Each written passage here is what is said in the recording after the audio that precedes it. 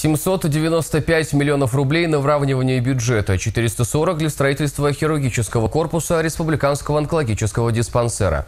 Михаил Игнатьев рассказал на еженедельном совещании о результатах встречи с президентом страны Владимиром Путиным.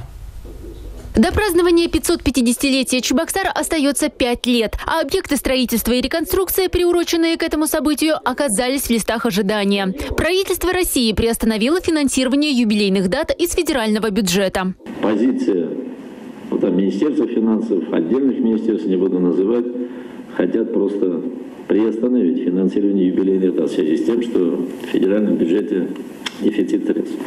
Многие объекты попали у нас в листы ожидания. Михаил Игнатьев обратился к республиканским министрам. При первой же возможности, как только появятся средства, необходимо лоббировать интересы Чувашии. Среди прочих вопросов был и отчет министра экономического развития о реализации республиканской адресной инвестиционной программы по итогам первого полугодия. В 2014 году на финансирование объектов республиканской адресной инвестиционной программы предусмотрено направить порядка 5 миллиардов рублей, чуть-чуть бюджетных инвестиций, в том числе субсидий из федерального бюджета 2,3 миллиарда, примерно столько же, чуть больше, 2,3 из республиканского и из местного более 280 миллионов рублей.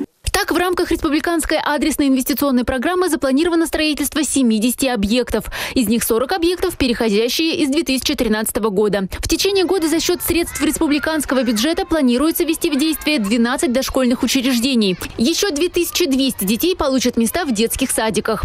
Также будут открыты ФАПы, спортивные объекты. Предусмотрено строительство автомобильных дорог в республике. По многим объектам средства освоены на 100%, но проблемными остаются объекты федеральной программы «Чистая вода» вода в части освоения республиканских средств, отметил министр экономического развития. Глава Чувашии акцентировал внимание на своевременном освоении выделенных средств. Выигравшие аукционы подрядчики должны сполна выполнить свои обязательства, подчеркнул Михаил Игнатьев. Министр образования рассказал о подготовке квалифицированных кадров. Многие предприятия открывают ресурсные центры на базе учебных заведений. Тем не менее, преодолеть дисбаланс между спросом и предложением в образовании пока не удается.